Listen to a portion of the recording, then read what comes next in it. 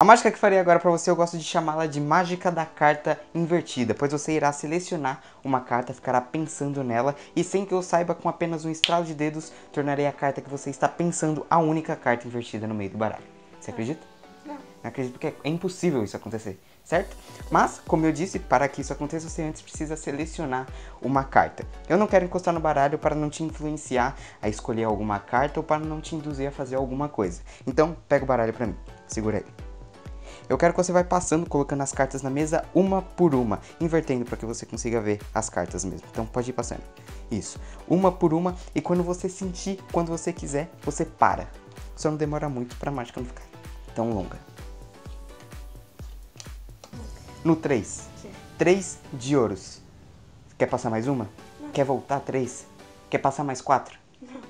Talvez, quando terminar essa mágica, você pense: merda, por que, que eu não passei mais três? Por que, que eu não voltei duas? Por que, que eu não passei mais cinco?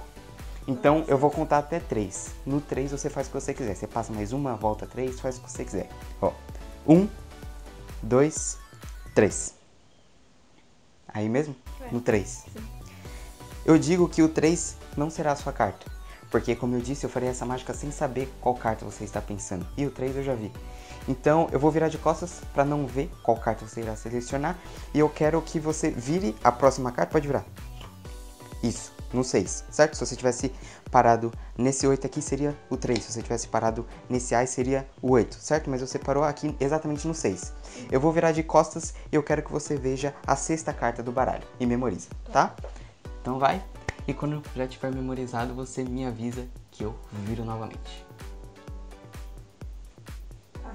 Memorizou? Sim. Junta as cartas para que eu não veja qual carta você memorizou. Junta todas elas, até as que estão na mesa. E quando tiver feito, eu me viro novamente. Você me avisa. Pronto? E pode deixar o baralho aqui. Corta o baralho completa, para que eu não tenha dedução da posição da, da carta. Isso, perfeito. E agora sim, é impossível. Eu não sei qual carta que é, porque ela está na sua mente e eu estava de costas, você viu.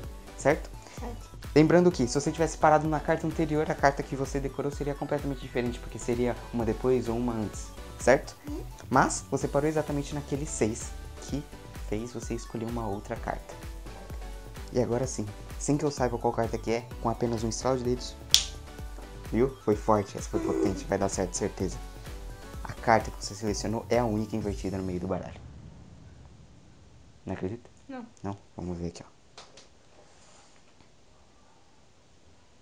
Acho que não deu certo porque a gente precisa fazer isso em conjunto. Eu e você precisa estralar os dedos ao mesmo tempo. Então vamos lá. No 3, eu vou contar. 1, 2, 3, a gente estrala os dedos. Vai. 1, 2. Ah, agora foi. Agora é certeza que deu certo, ó. Vamos lá.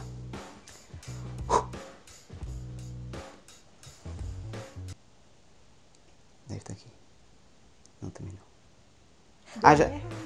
Não, não. É que eu falei que essa é a mágica da carta invertida no baralho. Mas talvez não tenha acontecido nesse baralho. Talvez tenha acontecido naquele baralho ali. Certo. Você encostou naquele baralho? E eu muito menos porque eu tava de costas, certo? Certo. Eu quero que você pegue o baralho de... ou, ou eu mesmo pego aqui, ó. Um baralho. Aqui. Você pode falar qual foi a carta que você selecionou? Um quatro de espadas. Quatro de espadas. Uma única carta invertida, que é exatamente o 4 de espadas. Carta selecionada. Mas calma, se você prestar atenção, todas as cartas são vermelhas, exceto a carta que você selecionou, que tem um dorso completamente diferenciado. Fala pessoas, tudo bem com vocês? Galera, no vídeo de hoje ensinarei essa mágica que vocês acabaram de assistir que tem um final um pouco inesperado por utilizar dois baralhos. E como vocês viram na performance da mágica, lá no final eu utilizei uma carta que tem um design de dorso um pouco diferenciado, que no caso foi essa carta aqui de um site chamado Unicosmic. Então caso você ainda não conheça esse site, pausa o vídeo agora, depois você assiste o tutorial, pausa o vídeo agora e acessa o primeiro link aqui embaixo na descrição. Lá no site eles vendem baralhos para você realizar seus floreios de cardistry, seus efeitos de mágica, tem várias opções de baralhos para você fazer a sua compra. E o legal do site é que o frete está muito barato. Para vocês terem ideia, o frete para minha casa estava de graça. Então passe no site agora e caso você queira realizar a sua compra, utilize o cupom de desconto do canal, que é EUC10 para você ter 10% de desconto na sua compra. Então dica de amigo, sério mesmo, pausa o vídeo agora e acesse o primeiro link aqui embaixo na descrição para você ver as opções de baralhos que tem lá no site. E se você gosta desse estilo de vídeo onde eu gravo tutorial de mágicas aqui para vocês, sobe a tela agora, clica no like para você dar o feedback se vocês querem que eu traga mais vídeos assim pro canal. Aproveita, já se inscreva e ative o sininho do lado para vocês receberem os próximos vídeos. E agora sim, sem mais enrolação, vamos pro tutorial da mágica de hoje. Galera, para realizar essa mágica, como vocês viram na performance, vocês vão precisar de dois baralhos, certo? Em um dos baralhos você irá selecionar uma carta, que no caso aqui eu estou utilizando o 4 de espadas, certo? E você vai colocar invertido no meio do baralho e vai deixar esse baralho dentro de uma caixinha, igual foi na performance. E deixa esse baralho o tempo todo ali de canto. Já no outro baralho você vai pegar também a carta equivalente à carta que você selecionou no outro bloco e vai fazer um preparo. Esse preparo envolve matemática, então é um force matemático. E esse force é baseado nos números pares, que no caso aqui é o 2, o 4, o 6, o 8, o 10 e o 12, que é a dama certo? É, eu separei todas essas cartas do naipe preto, não precisa ser todas de paus, nem todas de espadas, não importa. Eu só peguei todas essas cartas pares do naipe preto, porque fica mais fácil de eu identificar durante a performance. Então o que você vai fazer? Você vai separar, igual eu separei aqui, o 2, o 4, o 6, o 8 e o 10, e entre essas cartas você vai colocar uma carta aleatória. Então, ó, tem uma carta aleatória e vem o 2. Uma carta aleatória, vem o 4, uma carta aleatória vem o 6, uma carta aleatória vem o 8, outra aleatória vem o 10, outra aleatória e vem o 12. Depois você pode colocar mais uma aleatória aqui só para finalizar. Então agora tem uma carta aleatória e vem 2, 4, 6, 8, 10, 12 e o Ice. Depois que você fez isso, você vai colocar a carta que você irá forçar primeiro no topo do baralho e depois você coloca toda essa sequência por cima. E assim já está feito o preparo no baralho. Se você quiser, você pode colocar mais quatro cartas aqui em cima, só por garantia, é, para você ter certeza que a mágica vai dar certo. Por quê? Porque agora a mágica vai, vai funcionar de uma forma automática. Você vai pedir para que o seu espectador vá passando as cartas uma por uma na mesa e, para que, e pede para que ele pare quando ele quiser. Então, digamos que ele parou, sei lá, aqui nesse 8 certo? Se ele parou nesse 8, é só você contar 1, 2, 3, 4, 5, 6, 7 e a oitava carta é a carta do Force. Aí você fala, tá, mas e se ele parar aqui nesse 4? É só contar 4. 1, 2, 3, 4 e novamente cairá na carta do Force. Aí você pode falar, tá, mas e se ele não cair em nenhuma das cartas pretas que são as cartas pares? Aí você vai fazer igual eu fiz na performance. Não sei se, não sei se vocês perceberam, mas a minha irmã é, caiu em uma carta vermelha. Então digamos que ela caiu aqui, ó, nesse 8, certo? Não, aqui, ó, caiu aqui nesse rei.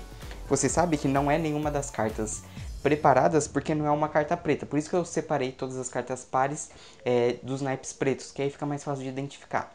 O rei não é uma carta preta. Então o que, que você vai fazer? Você vai pedir para que ela vire a próxima carta, que no caso aqui é um 6, e conte 1, 2, 3, 4, 5, 6 e vai cair novamente na carta do Force. Certo? Então é um Force muito fácil, muito tranquilo, só vai precisar de um preparo no baralho e funciona de forma automática porque é pura matemática. Então, você vai fazer aquele discurso todo que eu fiz, ou vai inventar o seu próprio discurso, e vai falar, bom, eu quero que você vai passando as cartas uma por uma na mesa, pode ir virando ela face para cima para que você veja as cartas, e você para quando você quiser. E se você perceber que o seu espectador está demorando muito para parar, você fala, mas não demora muito para a mágica não ficar tão cansativa e tão longa, certo? Invente seu discurso só para induzir o seu espectador a não demorar tanto para passar. Então, digamos que ele parou aqui nesse 8 aqui. Você sabe que é uma carta vermelha, certo? Não é nenhuma das cartas preparadas. Então você fala, bom, é, eu, como você parou nesse 8, mas o 8 não pode ser a sua carta porque eu vi que é. Então eu vou virar de costas, eu quero que você vire a próxima carta e o valor da próxima carta eu quero que você conte. No caso aqui, aconteceu de ser um 8 também. Só contar 1, 2, 3, 4, 5, 6, 7 e a oitava carta é a carta do Force. Então é uma mágica muito fácil, muito tranquila, só vai precisar de uma boa apresentação, porque o resto funciona de forma automática. Depois é só você fazer o discurso, fazer de conta que com o estralo de dedos a carta ficará invertida no meio do baralho. Obviamente não vai acontecer isso porque a carta está invertida no outro monte. E o impacto final é muito forte, porque você escolheu a carta muito depois e o baralho estava aqui o tempo todo. E aí você pode fazer a mesma coisa que eu fiz, que é deixar a carta invertida no baralho e de cor diferente, só para causar um impacto secundário na mágica. E o vídeo vai ficando por aqui. Muito obrigado a todos vocês por estarem assistindo o vídeo, caso você chegou até o final. E até o próximo. Ah, acesse o primeiro link aqui embaixo na descrição, que é o site da Unicosmic, para você comprar os seus baralhos, certo? Muito obrigado a todos vocês por estarem assistindo o vídeo até aqui e até a próxima.